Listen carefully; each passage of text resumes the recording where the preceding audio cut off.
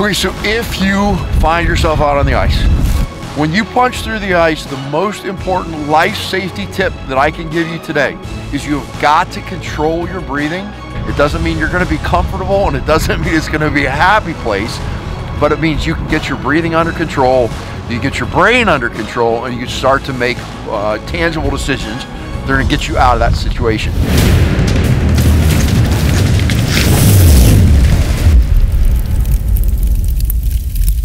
Okay, so if you find yourself out on the ice and you bypassed all these safety rules that we've talked about, when you punch through the ice, the most important life safety tip that I can give you today is you have got to control your breathing. You got to slow your body down and you got to get your arms out on stable ice if possible. Every human being is going to have a physiological response to freezing water. Um, there's a lot of different re reference points for it, but the, the cool thing about it is each person's physiological response is somewhat unique. The things that are common is uh, you are immediately going to start doing what we call guppy breathing. So once that cold water hits your face and your body, you're going to start hyperventilating and gasping for air. Your other instant response is going to be to start kind of spazzing out. All those things are burning up BTUs and, and body heat, and, and you're losing energy rapidly while you're doing all those things. Uh, hyperventilation can escalate the process of you transitioning into full hypothermia and potentially losing consciousness. So the most important thing is, is that control your breathing, slow down, and get your arms out on the ice. Once your arms are out on the ice, if you just kind of, we call riding the wave, just ride that physiological wave and let your body reset. Within a minute or so, your body is going to fully reset. It's going to kind of equalize with the water and the environment you're in.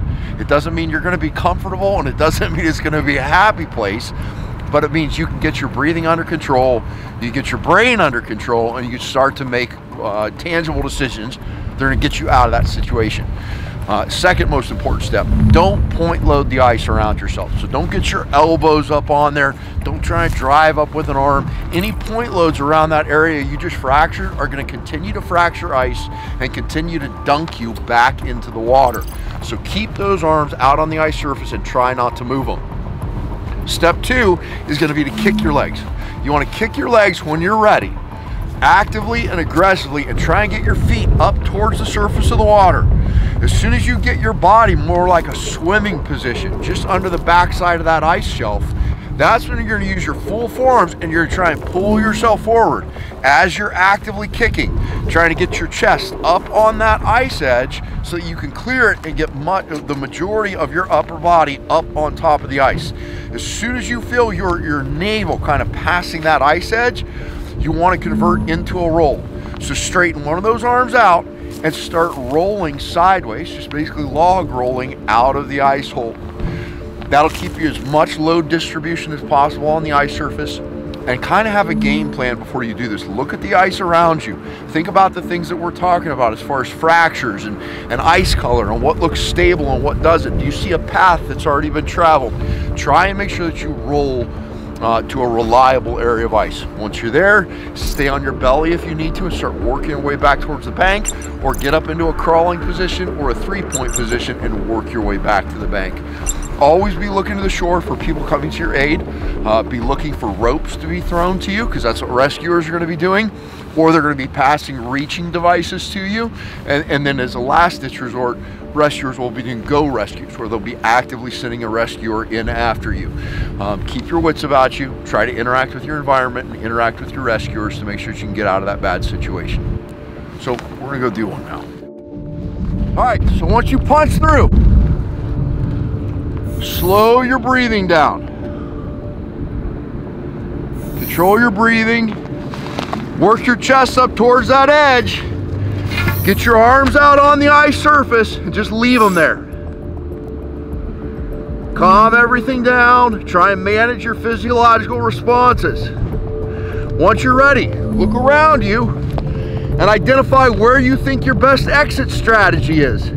Mine is gonna be to the right because I've got a trailing rope line to the right. That's a path that's already been traveled. That gives me something to grab a hold of, hold on to. Hopefully people on the shore can pull me in. And it's an area that I know isn't virgin. Once I'm ready, I'm gonna start kicking. As I bring my feet up to the surface, when I'm ready, one big kick, and I'm just gonna use my forearms and hands on the ice to try and get my chest up on the ice edge.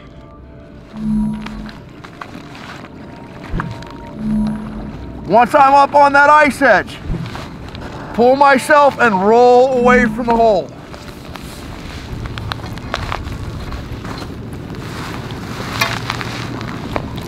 Once I'm out and clear of the hole, I can start belly crawling to safety. I get up into my three-point stance, or I can crawl.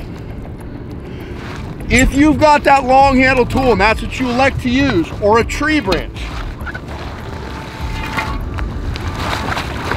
when you dropped into this hole, if you go to do that initial push and one of these elbows punches through the ice, let yourself ease back down, bring that tool back towards the corner and try and bridge a corner. Where these two surfaces intersect, you're gonna have a greater point of resistance on this corner than you are on a wide open surface of a flat. So get that tool across the corner, start kicking, drive your chest up onto that tool or that branch, and then roll away from the hole that way.